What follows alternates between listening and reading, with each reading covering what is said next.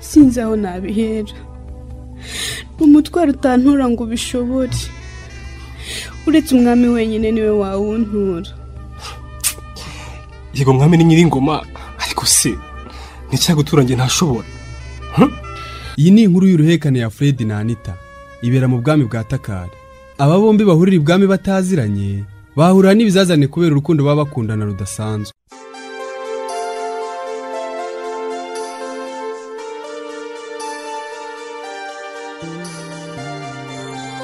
Iyi ni epizode ya makumyabiri na kabiri. Muri epizode ya makumyabiri na rimwe duherukana byo ntacyo bimbwiye mubyeyi ikimbabaje nanita nasize mu mashyari y'ibwami.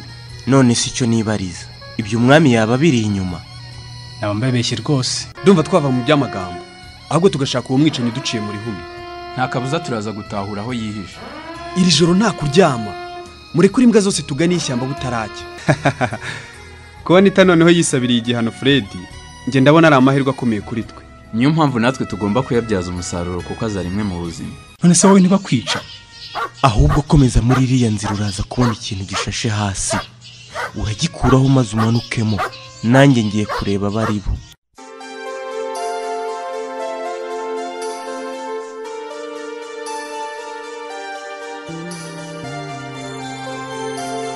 imbwa zikomeje gusatira hafi y'aho umusaza alphonse atuye. Ariko fred amufitiye impungenge. Nubwo ngiye kwihisha rwose ariko mfite ubwoba bwinshi washobora kukwica humura ntacyo bantwara ntakiri bubemeze kuri hano. Ayiwe mva urugi barukuyeho ngaho reka ngende. Nanjye reka mbarebe.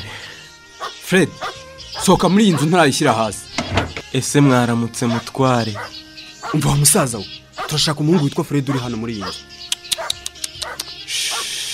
Mutuze mwamaze kugera aho mushaka ari cyangwa mujye gushakira n'ahandi ku ruhande. Rwose uwo muhungu witwa fred muri gushaka ntawe uri hano. Tubwize ukuri wa musaza we kuko ukuri guca mu ziko ntigushye. Izi mbwa tuzifata nk'inyabwenge ibwami. None wowe urashaka kuzisuzugura. Twaraye ijoro ryose tumuhiga. Twazengurutse ishyamba ryose rya dede kugeza ubwo igitondo gitangaje. Kandi turabizi neza ko ari hano. Wishaka kutujijisha rero. Rwose mbabwize iki nyagasani? Ukuri kwanjye kwari uko. Cyangwa nimushake muze musake inzu yose. Piyeri zana icyo gikapu hano tumwereke. Dore iyi myenda y'ingabo yifashishije acika ubwami twayisanze mu ishyamba aho yari yayijugunye. Nyagasani uyu munyagwa ngo ni fred yaturetse munsi y'ikirere icyo twakora cyose ntitugomba gucika intege kandi ngira muzi impamvu umuntu twashatse ijoro ryose tutaramubona?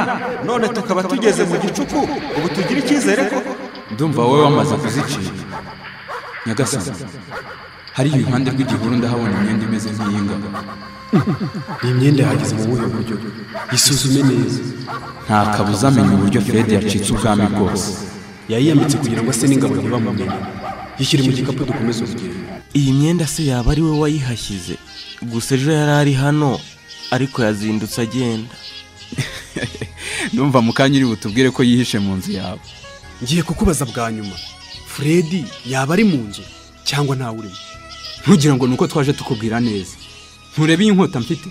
Ndasiga nyigushinzemo nyagasani uwo musaza mumureke nta cyaha afite cyatumukijwe inkota. Kaze neza mboga zizanye.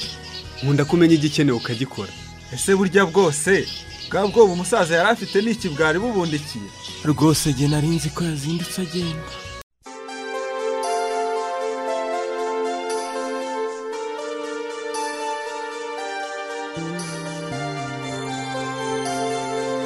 Umugaragu n'umuja bari ibwami. Ariko ejo ku munsi wose ntigeze mbona fred hano ibwami yaba yaracikiye. Ndumva ushaka kuba umugenza we. Niba uzahari mbwira rwose kandi utirengagije uzi impamvu mbikubajije. Umva wa muja we fred sinzi ahantu yahungiye ubwami rwose. Hari uko ubuze amakuru y'ubu bwami none ndumva nawe uri inyuma. Ubundi se azagaruka? Ko nitaba ahuye n'ibibazo agize kubura umwana abure n'umukunzi we? Wahora n'iki ko burya ibikomerezwa bitwifashisha ngo bigere ku ntego zabyo? Ubwo ndakumva uri kunshiraho umugani uzura akaboze. Umenye ko umuti nigeze guhanita ntarinze uko umeze. Ubwo rero ntiwanshyiraho icyaha. Njyewe nta muntu ntunze agatoki ariko nivugiraga muri rusange. Nari ngize ngo ushatse kugarura ibyibagiranye ibwami kandi nta n'ikosa nari mfite. Buriya ushishoje neza wasanga narindi kwivuga. Ngo wari uri kwivuga niko. Waba waraguye mu cyaha bitewe n'abakuru yego rwose. Ibintu ngiye kukubwira ugomba kubibika kure. Mbwira rwose ndakumva. Uriya mwana wanita wari kuzaba umwami ndi mu bagize uruhare mu rupfu rwe. Ngo ngo iki? Niwe wishe didiye oya ntabwo ari njye. Ariko natanze umwenda wa fred kugira ngo bawumunigishe oya ibyo si ibyo guceceka. Ngombe nkurege kuko ubwo ni ubunyamaswa. Nta kibazo mfite cy'uko wandega ahubwo ushobora kubigenderamo ari wowe. Ushatse kuvuga ko abakomeye ibwami ari bo bica umwana wabo? Vuga gahoro ariko hatagira utwumva. Ndumiwe koko. Kuki umwami yakurikira umwuzukuru we? Oya ntabwo ari we wamwishe ni umukuru w'ingabo wakarabye amaraso ye. None se fred baramushakaho iki? Nanjye ni cyo ngishaka kumenya. None kuki watatiye igihango twagiranye cyo kurinda fred na anita? Sha nanjye si njye umwami aramutse agutegetse kugira icyo umukorera maze akanakubaza niba ukunda ubuzima bwawe wamusubiza iki?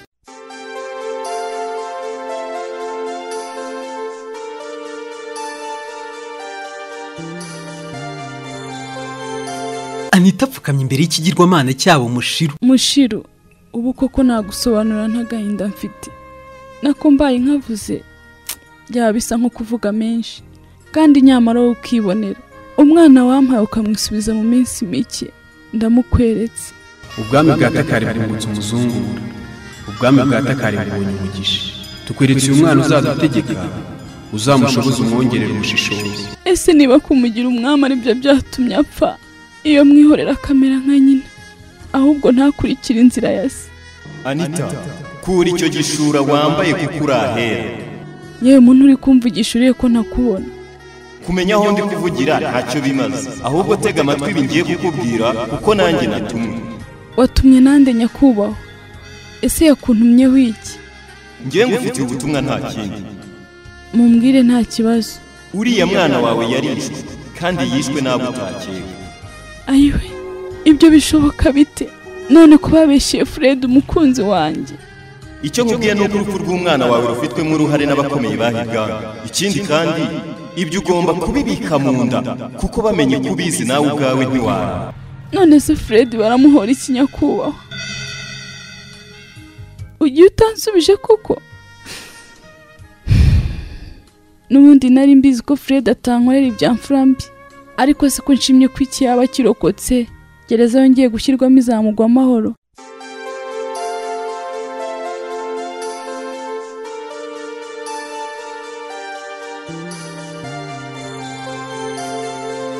Umwami no kuringa bosco bageze ibwami. Urabona ngo umunyagwa twahagize atwirukase ishyamba rya dede. Tubure ubugohiga kandi ibwami hari indaro zitugenewe. Njye ndumva nahita njya muri gereza nkakirangiriza rimwe na rizima ukihore tutarigira hamwe icyo tugikorera? Nyagasani uribuka ko dufite iri joro ryonyine? Ndabyibuka rwose ariko wibuke ijambo nigeze kukubwira. Narakubwiye ngo ntuzigere uhubuka mu byo uzakora byose. Ndabyibuka nyagasani ariko namwe mwibuke ko iminsi baduhaye yarenze. Sinzi nimba ahubwo batari no kudufatira izindi ngamba. Igitambo cy'umwicanyi urarwa tuzakibaha. Ariko natwe twitonze tugakora ibyacu ntawe umenya ibibaye ndabumva rwose. Erega nabo bazi ko kubona umwicanyi ruharwa atari ibintu byoroshye.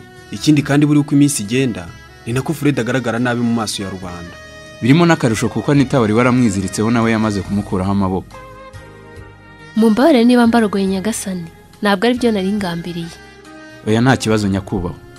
Iterambere ry'ubwami nawe riba ari kureba niba utuzaniye amakuru yubaka ubwami bwacu ndumva nta kuturogoya kurimo nari nje kubabwira ko igihe mwari mu nzira mugaruka ibwami hari ubutumwa bwaje bukabura ubwakira. Ubutumwa bwari buvuye he? Ko kuva twagera hano nta butumwa buratugeraho. Uwari ubuzanye yabusubijeyo nyagasani? Kuko ngo nimwe yari kubwihera. Kora uko ushoboye ubwo butumwa mbubone. Ngiye kugerageza nyagasani. Iyo ntumwa yari imeze ite? Njye sinabashije kumubona ariko abamubonye bavuga ko ari wa wundi wazanye ubutumwa inshuro ebyiri zashize. Nta kabuze icyo nakekaga ni cyo. Nyagasani ubutumwa bwari buducitse habuze gato.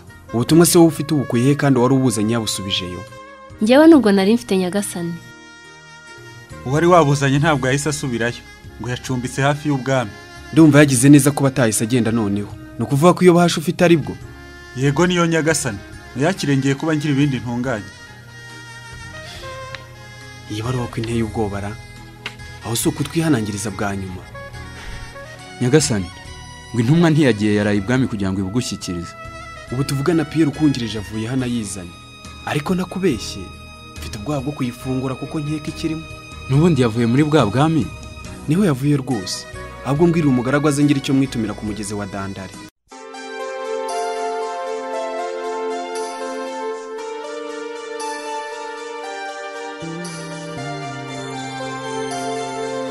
Nyuma y'aho fred afatiwe yahise asubizwa muri gereza ibwami. Ubu koko nakoze ikihe cyaha cyatuma mpigishwa imbwa z'intozo nkaryanwa ibwami mboshye nkaho nigishijwe muri rubanda. Sinzibagirwa uburyo nita akambera nkaho tutaziranye. Ijwi ryambwiraga amagambo aryoshye. Icyo gihe rimbwira amagambo arora nk'umubirizi. Mukunzi wanjye ariko hagati aho unyihanganire. Ibyo nagusezeranyije ntabwo nabikoze. Umusaza wari wamfashije bari bagiye kumunyicara mu maso nditambika ubwo bahita bamvumbura. Ntugire ngo nuko twaje tukubwira neza nturebe iyi nkota mfite. Ndasiga nyigushinzemo none nkaba nongeye kwisanga hagati y'inkuta enye aho nkikijwe n'inkorashyano z'ukuri. Fred va muri izo ntekerezo zawe dore ntaho zakugeza. Zituma mbasha kwiganiriza nyakubahwa. Dore nkuzaniye ibyo kurya kuko ndabizi inzara ufite ntiyakwambutsa umugezi wa dandari ndumva nta nzara mfite. Kandi niba uzanywe no kongera kunshinyagurira aho uribeshya cyane. Fred wirakara kuko nkuzaniye icyo gushyira mu nda. Kandi abizi nturi bucyange. Nturi kwihagararaho inzara ndayifite.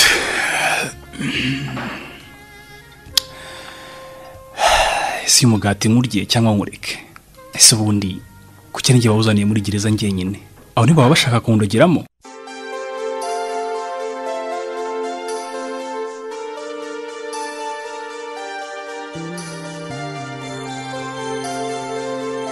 ese uyu mugati bazaniye fred araza kuwurya ese wa mugani kuki ari we bawuzaniye wenyine muri gereza yose? Ntuzacikwe na epizode ya makumyabiri na gatatu.